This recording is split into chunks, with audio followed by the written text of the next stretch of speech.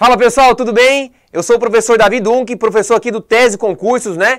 E nessa aula agora nós vamos trabalhar, nós vamos ter um aulão de resolução de questões, né? Várias questões da parte geral aí para sua prova, né? Vamos ter uma maratona de questões do Instituto AOCP para sua prova. Vamos trabalhar desde o artigo 1 até o artigo 12, né? Trabalhando, trabalhando a parte geral do artigo 1 ao 12 do Código Penal. Com certeza vai ajudar demais aí na sua aprovação, beleza? Show? Vamos lá para a tela então? Então vamos lá. Então vamos trabalhar agora, né? Vamos começar a trabalhar dos artigos 1 ao artigo 12 aí, envolvendo a parte geral da sua prova. Vamos lá. Primeira questão. Questão fala o seguinte, olha só. Os princípios que resolvem o conflito aparente de normas são.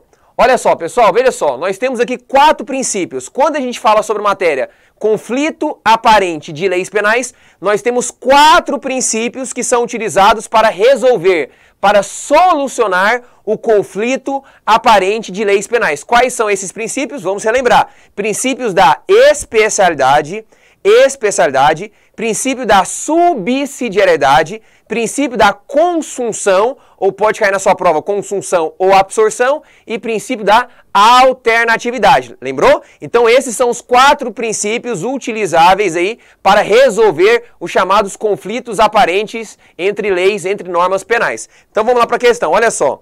Então, aqui fala o seguinte, ó, letra A, especialidade, tá certo? Sim. Legalidade, não. Intranscendência, também não. E alternatividade, ok. Não é essa. Letra B. Especialidade, ok. Legalidade, não. Consunção, sim. Alternatividade, sim. Vamos lá. Letra C. Especialidade, ok. Subsidiariedade, beleza. Consunção, ok. E alternatividade, sim. Resposta, letra C. Lembra na sua prova. Lembra que nós temos esses quatro princípios. Princípio da especialidade, subsidiariedade, consunção pode cair como absorção e, finalmente, a alternatividade. Esses são os quatro princípios utilizáveis para solucionar o conflito aparente de leis penais. Beleza? Vamos lá. Vamos para a próxima questão. Vamos lá para a tela, então? Próxima questão. Olha só. Constituem princípios que se destinam a solucionar o conflito aparente de normas. Então vamos lá. Proporcionalidade? Não. Proporcionalidade não. Especialidade sim. Excepcionalidade também não. Proporcionalidade também não. Letra C. Especialidade ok. Fragmentaridade não. Subsidiariedade ok. Subsidiariedade e especialidade. Perfeito. Resposta letra D. Vamos lá, vamos continuar então. Fala o seguinte, ó. Pedro Pedro subtraiu bem móvel pertencente à administração pública, valendo-se da facilidade proporcionada, propiciada pela condição de funcionário público.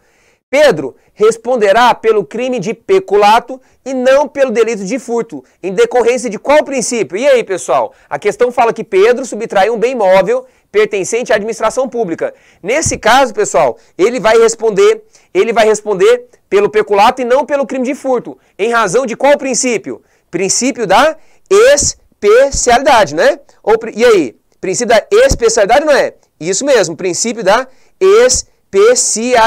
Resposta, letra C. Vamos se lembrar? O que é princípio da especialidade, professor? Vamos lembrar.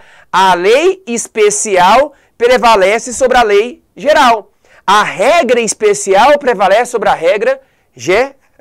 É por isso que quando uma mãe, sob a influência do estado perperal, durante ou logo após o parto, mata o seu próprio filho, ela responde não pelo homicídio, ainda que ela esteja matando alguém, mas ela responde pelo infanticídio, em razão do princípio da especialidade. Lembra? A regra especial, a lei especial prevalece sobre a lei geral beleza? Tranquilo, né? Então aqui ele vai responder pelo peculato em razão da especialidade. Vamos lá, vamos continuar então. Olha só, próxima questão. Para solucionar, olha só, para solucionar o conflito aparente de normas, são empregados quais princípios? Vamos lá.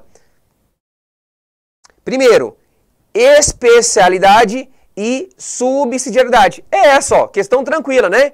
Vamos ver a segunda. Especialidade, proporcionalidade não. Proporcionalidade não, subsidiariedade sim. Subsidiariedade, fragmentariedade não, fragmentariedade não, especialidade sim. Então, esse aqui trouxe dois princípios corretos, ó, especialidade e subsidiariedade. Aliás, deixa eu bem rapidamente aqui só para relembrar, né? Tem, às vezes você esqueceu, talvez você não lembra. Vamos só relembrar esses quatro princípios de forma bem rápida aqui, só para você não esquecer a nota de sua prova. O princípio da especialidade já falei. A lei especial prevalece sobre a lei geral. Fácil, né? Professor, o que é o princípio da subsidiariedade? Vamos só lembrar? A lei primária prevalece sobre a lei subsidiária. O que, que, é a lei primária? A lei primária é, aquela, é a lei principal, que dentro dela já contém a lei subsidiária. Então, exemplo, dentro do crime de roubo, nós temos o crime de ameaça. Então, quando o bandido chega para gente e fala, ó, oh, passa a bolsa, senão eu te mato. Ele não vai responder pelo crime de roubo e pelo crime de ameaça. Por quê? Porque o crime de ameaça é subsidiário em relação ao crime de roubo. O roubo é o que? É a lei principal, é a lei primária. A ameaça é o que? É a lei subsidiária. Como a ameaça ela já está dentro do roubo, a lei principal, roubo, ela o que? Ela vai o que? Ela vai ela vai prevalecer sobre a lei subsidiária, sobre a ameaça, ok? Por isso fala da subsidiária. A lei primária, principal, prevalece sobre a lei subsidiária. Mesma forma quando uma pessoa pratica um estupro. O, o, o crime de constrangimento legal, constrangimento legal, ele está dentro do, do estupro. Então, quando uma pessoa pratica um estupro, ele não responde pelo crime de estupro e pelo crime de constrangimento legal, porque o constrangimento já está dentro do estupro. O estupro é a lei primária, é a lei principal, que prevalece sobre o constrangimento legal, que está dentro do estupro. O constrangimento legal é, é a lei subsidiária. A lei principal, estupro, prevalece sobre a lei subsidiária, constrangimento legal. Por isso ele responde só pelo estupro e não por dois crimes. Consunção, vamos se lembrar consunção. Consunção, para eu alcançar, para eu praticar o crime mais grave, necessariamente eu vou ter que passar por um crime menos grave. Exemplo, o sujeito vai praticar um furto, vai furtar uma bolsa de uma vítima que está dentro do carro. Ele vai lá e quebra, quebra a janela, quebra quebra o vidro, né? Quebra a janela aí do carro, né? Ah, para quê? Para furtar a bolsa. Nesse caso, né, ele vai responder não pelo crime de dano, ele vai responder pelo furto, né?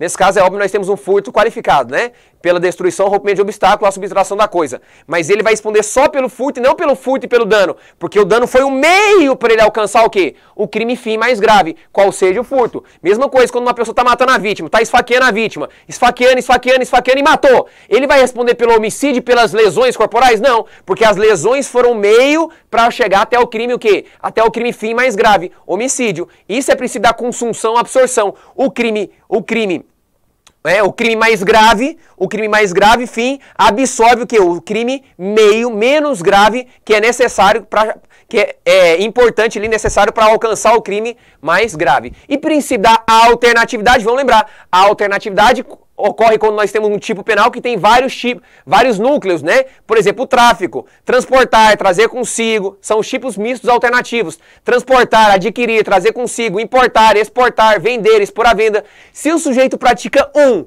ou vários verbos em relação àquele tipo, ele vai responder não por vários tráficos. Então, se o agente ali, ó, o sujeito adquiriu a droga, adquiriu, depois ele transportou, adquiriu, transportou, guardou em casa, é, expôs venda e vendeu. Ele não vai responder por cinco tráficos. Ele praticou cinco verbos: adquiriu, transportou, guardou, expôs a venda e depois vendeu. Ele vai responder apenas por um único crime de tráfico e não por cinco tráficos, em razão do princípio da alternatividade. O tipo penal prevê vários verbos de forma alternativa. Alternativa, guardar, transportar, trazer consigo, etc. Vender, expor a venda. Se ele pratica um ou mais verbos em relação àquela mesma droga, a mesma circunstância, ele pratica, se ele pratica um ou mais verbos, como aqui são alternativos, ele responde por um só crime em razão do princípio da alternatividade. Lembra disso para sua prova. Lembra desses quatro princípios: especialidade, subsidiariedade, consunção ou absorção e alternatividade. Beleza?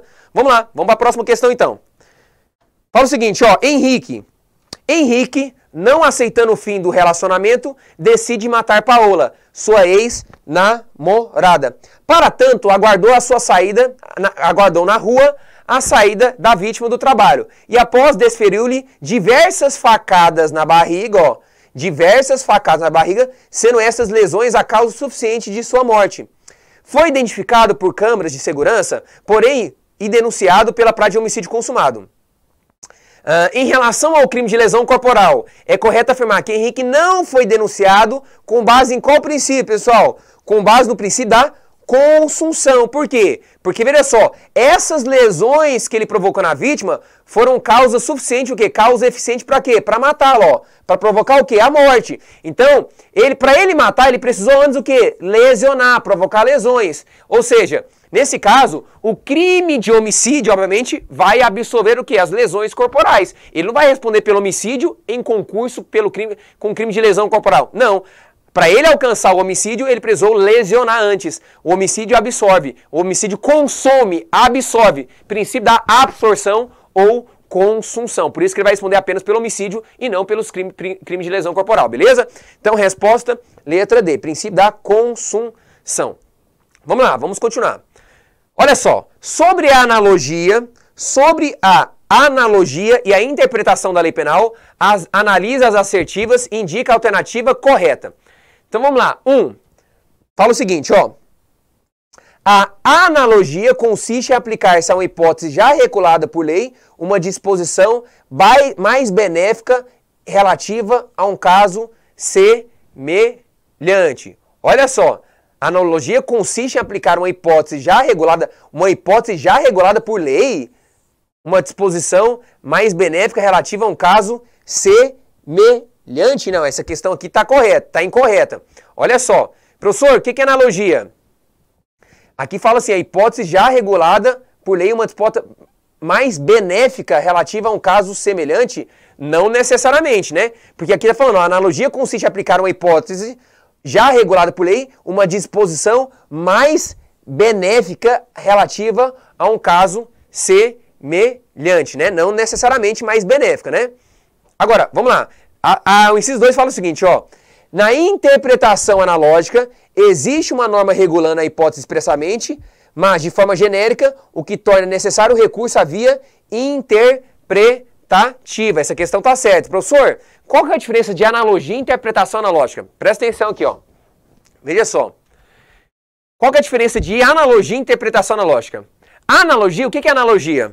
A analogia ocorre quando, veja só, nós temos um caso específico, nós temos um caso. Esse caso que aconteceu na sociedade, ele não tem uma lei específica que regula, que disciplina esse caso. Então aconteceu um caso na sociedade. Esse caso que aconteceu não tem uma norma, não tem uma lei que regule esse caso. Então o que eu faço? Eu pego uma regra, uma lei, eu pego uma outra norma, uma outra lei parecida com esse caso, que não. Veja só, esse caso não tem uma lei específica. Eu pego uma outra lei de um caso semelhante, de um caso específico, né, de um caso igual, porque se fosse igual, essa lei se aplicaria para esse caso. Então, esse caso específico não tem lei, eu pego uma lei que trata de uma situação parecida, semelhante, análoga e aplico ao caso em concreto. Mas perceba, é, essa, essa lei, essa outra lei, ela não necessariamente vai ser benéfica para a gente. Ela pode ser uma lei benéfica ou não. É claro que no direito penal eu só posso utilizar o quê?